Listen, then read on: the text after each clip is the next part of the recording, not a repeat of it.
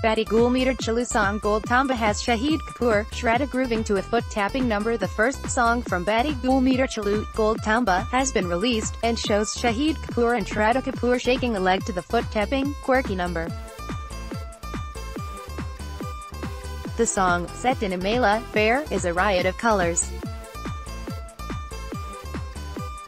From the costumes donned by the lead pair, to the confetti-strewn streets, the track is a celebration of colors, juxtaposing it to the opening sequence which shows an entire neighborhood suffering from power failure.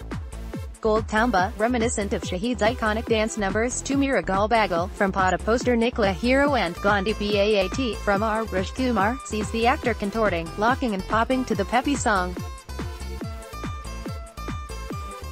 Shraddha, who has previously featured in a dance film ABCD2, matches his steps to perfection.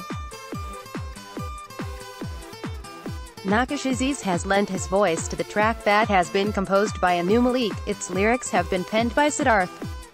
Batti Gul Meter Chalu has been a hot topic ever since its announcement but buzz around it skyrocketed once the first look of Sri Narayan Singh's film was revealed.